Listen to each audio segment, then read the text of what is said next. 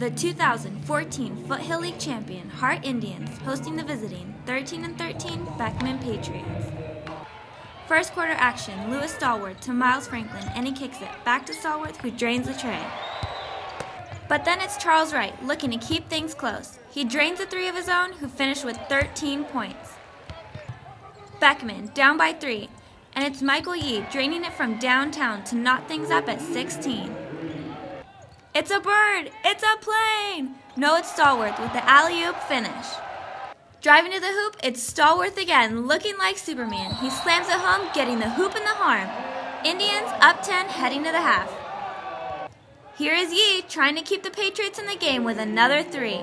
He would finish with 15 points.